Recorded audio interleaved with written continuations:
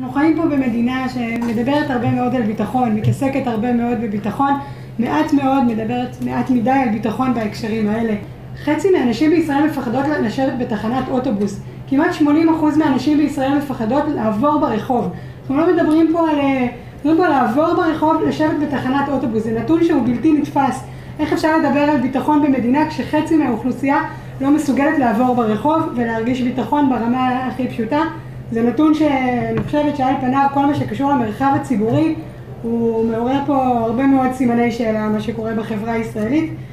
הסקר הזה והנתונים האלה מדברים על תחושה. אבל אני רוצה להגיד דבר מאוד קשה, מאוד קשה. אני אומר את זה בהרבה כאב. התחושה הזו לא מנותקת מהמציאות. זה לא רק שאנשים מפחדים, זה לא רק שנשים מפחדות, לא רק שערבים מפחדים, יש ממה לפחד. החברה שאנחנו חיים בה היא חברה שחיה בפחד. האנשים בארץ הזאת מפחדים. ופחד הוא דבר איום ונורא. ברמה החברתית, ברמה הפוליטית. פוליטיקה של פחד היא הפוליטיקה שמובילה את האנשים למקומות האפלים ביותר. ולצערי הגדול יש גם אנשים שבונים את הפוליטיקה שלהם על הפחדים. אבל צריך להבין שיש בעיה אמיתית של פחד. אנשים באמת מפחדים. ויש בעיה אמיתית של ביטחון. הטרדה מינית היא היום מהווה את אחד החסמים, אולי החסם המרכזי הבולט בפני נשים בשוק העבודה. אישה יכולה לעמוד בראש פירמידה, לעמוד אה, בראש איזשהו ארגון ועדיין לחוות אלימות ולהרגיש לא בטוחה לשבת בתחנת אוטובוס. אנחנו רואים באופן עקבי, כמעט בכל תחום, שיש פער גדול בין רמת הפחד, חוסר הביטחון של נשים, לבין רמת הפחד, חוסר הביטחון של גברים. וזה לא שהמצב של הגברים הוא כל כך טוב. המצב של הגברים גם לא מי יודע מה בחלק מהתחומים. אבל נשים כמעט בכל התחומים, בצורה עקבית, באופן משמעותי, מרגישות פחד. הרבה הרבה פחות ביטחון. וזה מאוד מדאיג.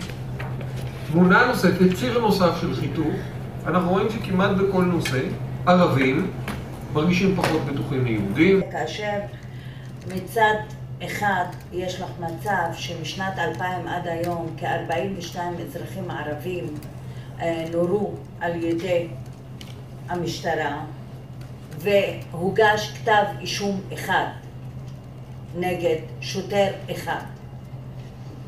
זה נתון אחד שמיד מסביר את חוסר האמון במשטרה ואת הרגשת, ההרגשה הזו שאם יש לי בעיה, המקום האחרון שאני רוצה ללכת אליו זה המשטרה.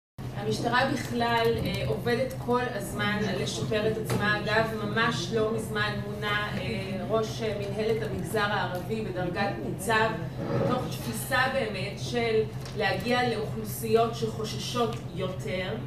אה, ולהיות נגישים יותר, וכחלק מזה גם הפעילות של היוהל"ן בתחום של קידום שוויון להזדמנויות לנשים, לשים יותר נשים אה, בתפקידי ליבה אה, במגזר היהודי, במגזר שפוגש את האזרחים, מתוך אותה תפיסה שככל שהמשטרה תהיה יותר מגוונת ותכיל יותר אוכלוסיות בדומה לאוכלוסייה כולה, השירות יהיה טוב יותר וביטחון האזרחים לפנות אליה יהיה טוב יותר. ואני רוצה להצביע כאן על...